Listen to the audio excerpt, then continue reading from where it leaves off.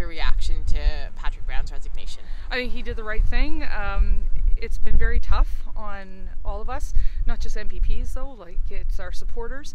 Uh, the people of Ontario want change and they really want us to do that. So I'm pretty confident that uh, as we move forward, we'll select a strong leader that will unite the party, unite the caucus, and take us into the next election. And uh, and uh, you know, I think that we're going to win the next election, and you know, we'll just we're just going to have to pick that unifier tomorrow.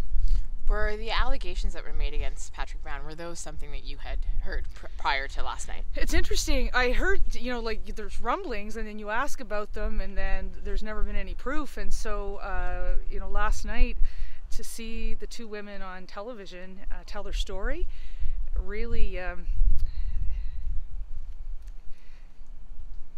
you know, you really just feel for them, and you you appreciate their courage, and and you just it's it's such a terrible, terrible thing. And uh, as a woman myself, my inclination is to believe and support her um, because I know how difficult it would be if it were me that was doing it. So um, that's why I came out as one of the first to sort of acknowledge their pain and thank them for their courage. We're in that era now where us women can sort of take back uh, our lives and our bodies and that sort of thing. So um, I'm I was thankful for them.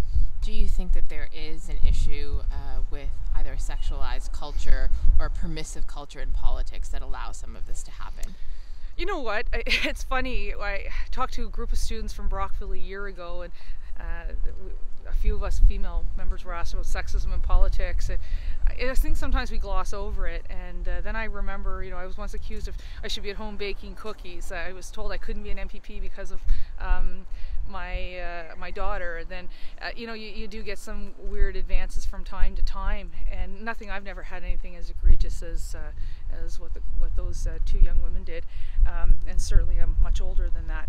But uh, you know something. I think we all have a role to play in saying you know I'm a professional. Uh, you're a professional. It doesn't matter what our gender is or our sexual orientation. we're showing up to do a job, and we want to get it done. And what's next for you, Lisa?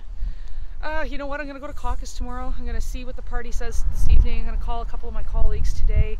Um, you know what, the wonderful thing about um, this awful issue has been is the level of support I've received, not just people from Nepean Carleton, but from all over the city of Ottawa and the province. And um, it's been a tough couple of years, four years for me, uh, having uh, dealt with some mental health issues and um, and just coming back from that stronger, they've really been able to help validate me and, and tell me that the job I'm doing in Nepean Carleton is is worth doing and the work that I'm doing in the legislature is appreciated. So so that's been been very nice and uh, and I'll have an opportunity to convene with my colleagues tomorrow and as I said, hopefully we'll find that unifier that can take us into the next campaign and put this nasty mess, mess behind us and uh, and get on with doing what we're supposed to be doing, which is providing good government for the people of Ontario.